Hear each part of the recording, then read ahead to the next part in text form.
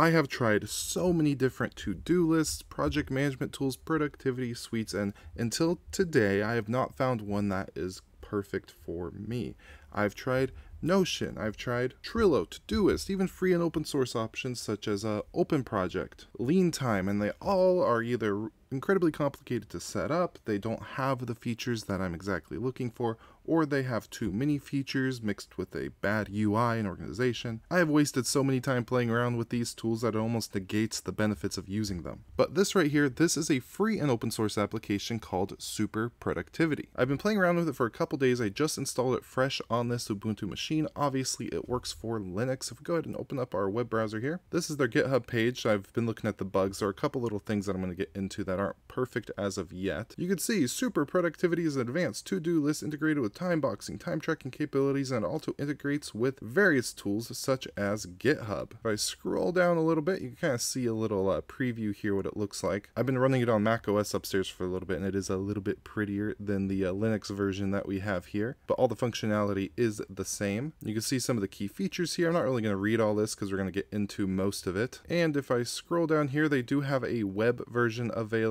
that you could go and check out. It does require an extension to use that and when it comes to download and installs it is available on Windows, Linux as either a snap package, also a app image, a Debian package and RPM, or you get it through the AUR. We have a macOS version. It does have an Android version. No iPhone as of yet. You have to use the web app, but overall it boasts all the features that I need, whether that be project management. You can see I have some uh, projects set up here. I don't really organize my projects on like specific projects, rather broad categories of projects, which this does allow me to do. We have time tracking up here. We have schedules and planners, all kinds of stuff. And of course you can link it up to, I believe it's Dropbox or a local file, put it on a network share, something like that. So then you can access it on a variety of devices or at least access your data. But getting right into it, I want to go over here to projects. This, the default one is just inbox. I renamed it to personal. Then we have production, which this is what I'm doing right now. I don't know why it says today twice. Again, I was having some minor issues with scheduling. But then we have a uh, research, which is another category I set up. And to create projects, all you do is click create project. You give it a project name. You set the theme color. You can search icons. So like book, for example, it'll bring up any icons related to that. And here is where you can set up integrations with like GitHub and things like that. Now, when it actually comes to creating tasks, you go into a project. So this is just my kind of personal task list that I have here. And if I want to add one, for example, something I need to do is paint the playhouse and then all I would do is hit enter and then it creates that task. Right now by default it comes unscheduled. A real quick option is just to click on this which will add it to today and then you can see it's marked as today and if I go over to today which is basically the homepage for this application it will just list everything you have scheduled for that day. Additionally, within these, if I go and click on this right here, this will bring up an extra little menu with more options and features. Time is the actual time spent on it, so you can either use the actual time tracking here, or you can do a manual time entry right here, including the ability to add time for other days you've spent on the project. If you schedule the task here, you can pick what day it goes on. So let's say I actually do want to paint the paint house, not this weekend, but let's say next Sunday I want to do that. Uh, you can add time right here, but right now there is a bug associated with that, so hopefully that is fixed relatively soon because that will add uh, basically all the functionality that I need out of this application. But if I go ahead and click schedule without adding the time, you can see it removes it from today. And if we go over here to our schedule, we will be able to see it. Oh, it doesn't go out that far. If we go over to planner and then go all the way out, we can see that it's going to appear on this Sunday. So we actually have a planner and we can move around things between days through here if we would like to as well. I believe the UI for this could be slightly better, but for now it's awesome. If I moved it to like Monday, for example, and then went over to the schedule, you could see that it's going to appear there. And once the time thing is fixed, then hopefully we'll be able to actually have blocks and be able to move them around and like resize them overall super cool stuff. Now what I'm doing right now in my production is recording this video. There we go, fix that real fast. I can mark it as complete, so undone or done, but if I wanted to actually time this, I'm doing it right now, all I would do is click that and then you could see right there, it is now beginning to track that time. And I'm just gonna keep that going since I am actually actively recording it and let's head down to settings here. Here we just have some typical light, oh, and it's really customizable to get exactly what you want out of it. So you have some basic kind of functionality within how you want things to work, such as the first day of the week, start time of next day. So for example, I want that to be 9 o'clock is my start time, but I'm going to go ahead and leave this as 0. We have the uh, default description template, so I'll go over some more stuff that you could do within the specific projects. We have some idle handling keyboard shortcuts. So idle handling is something that can automatically trigger breaks. So if you're not doing anything on your computer, get up, walk away. Right here, after five minutes of idle, it will uh, realize that you're not actively working on something and it can actually track breaks, which is really cool. We have all the various keyboard shortcuts, so if you are a keyboard warrior, you can go ahead and just use that instead of the mouse. For time tracking, we have the default estimate for new tasks. So if things generally took me an hour, we could set that for subtasks as well. Here you can import calendars, so if you have Google Calendar, Outlook 360, you can actually add that through here.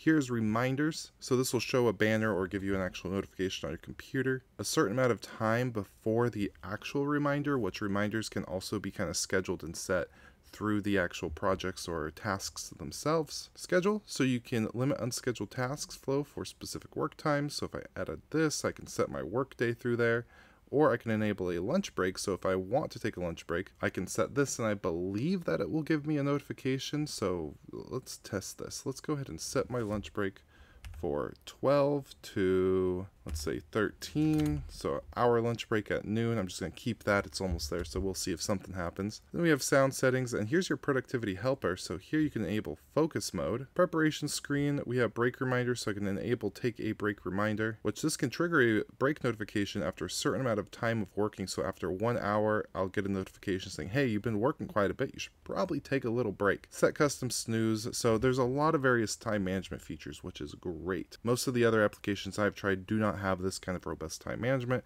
except for Leantime, but I didn't really like that because it's like um, there's almost too much going on there. If I dive back over here to production, I did kind of want to show you if I open this up, we have the option to repeat this, so I can repeat this on a time basis. So if you want to just like use this to set like monthly reminders to do specific tasks, you can do that with a custom repeat config every year, every week, so on and so forth, including adding those estimates, order, and some more information. Close that out. Here we have attachments, which is super cool. They're currently done by URL, so you can't really upload to this, at least on this desktop application that I am uh, at least aware of, which is nice. So if you have like a project management or a actual project in a folder, or you wanted a specific image or something, you can add that.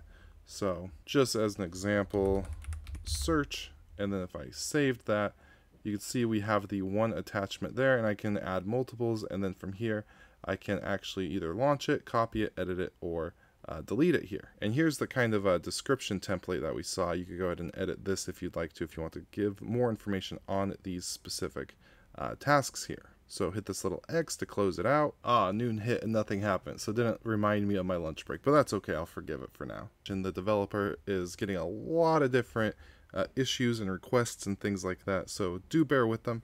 And I believe this is written in Electron, so if you are experienced with that and you love this and you know the programming language, if you want to help out, I'm pretty sure they wouldn't mind that. Also, one thing I could do, let's go personal and go over to this one.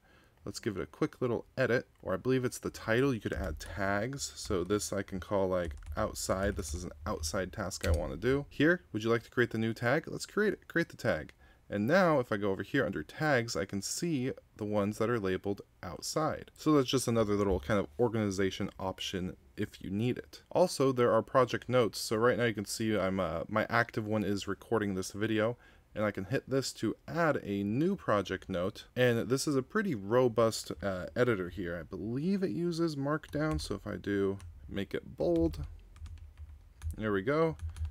So yeah, you can use Markdown to write a whole bunch of stuff in here, and then um, you could change the view. So I could view as phrased, I could have the split view, or just the single Markdown view.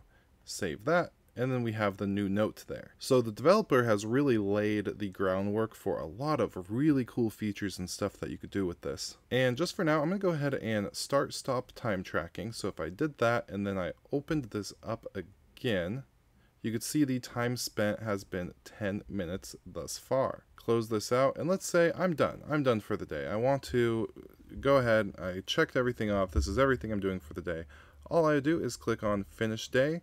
We get a nice little uh, kind of celebratory animation here as well as a nice breakdown of everything that happened. So the start end times for the day, the tasks completed are set to none at the moment because I'm not yet done. We have the time spent, breaks, and then everything that happened throughout the day. And I can save, go home. Work is done. You could click this and it'll just completely shut out the application or no, just clear the tasks, and here we are. It's not done yet, so it's still going to show up. And since this task wasn't completed, I do believe that it will show up on the schedule for the next day as well. So really cool stuff. I'm looking forward to getting any bugs and issues fixed. I can see that this is going to be a phenomenal tool. So yeah, do check out their GitHub page. If I go back over to code here, there is a lot of information. You could see that they are doing things actively. Two hours ago, was the last kind of push or edit to something. It is very active, and I am really looking forward to watching this uh, application grow and develop over time. And with all that, I do hope you have an absolutely beautiful day,